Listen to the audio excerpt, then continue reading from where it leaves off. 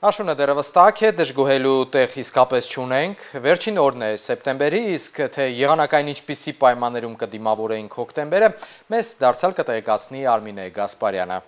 Հոկտեմբեր ամիսը նույնպես դիմավորում ենք ջերմ եւ առանց տեղումների եղանակով։ Աշունն այս տարի շատ բարեհամբույր է մեր տարածաշրջանի նկատմամբ։ Ոստի գյուղատնտեսները դեռևս հանգիստ կարող են զբաղվել իրենց վար ու ցանկով։ Եղանակը տալիս է այդ հնարավորությունը։ Բացի դրանից նաեւ օդի ջերմաստիճանի բարձրացում ենք ունենալու 2-ից 3 աստիճանով հատկապես ցերեկային ժամերին։ Այժմ ջերմաստիճանների մասին։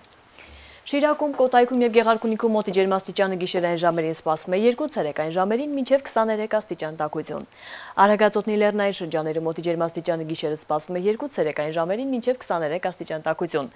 Արագածոտնի նախալեռներում մոտի ջերմաստիճանը գիշերային ժամերին կլինի 11 ցերեկային ժամերին մինչև 28 աստիճան տաքություն։ Արմավիրում, Արարատում, Վայոց-Ձորի նախալեռնային շրջաներում մոտի ջերմաստիճանը գիշերային ժամերին սպասվում է 9 ցերեկային ժամերին մինչև 29 աստիճան տաքություն։ Լոռվա մարզում մոտի նվազագույն ջերմաստիճանը գիշերային ժամերին կլինի 0-ին մոտ ցերեկային ժամերին մինչև 25 աստիճան տաքություն։ Տավուշում մոտի նվազագույն ջերմաստիճանը այս գիշեր կգրանցվի 5, վաղը ցերեկը առավելագույնը 28 աստիճան տաքություն։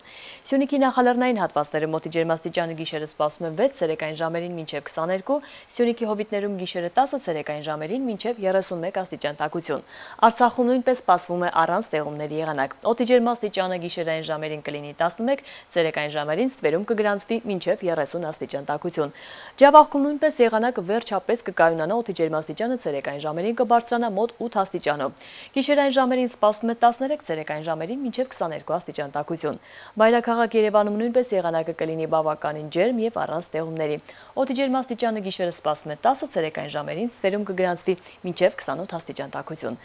Ահա այսքանն էլ եղանակի մասին Դավիթ։ Այս տեղեկատվությունը մեզ փոխանցեց Արմինե Գասպարյանը, երկրում տեղի ունեցողի մասին տեղեկացեք նաև Երկիր մեդիա AM կայքից մեր Facebook-յան էջից եւ Telegram-ի մեր լրահոսից ես Դավիթ Աղաբեկյանն եմ։ Առայժմ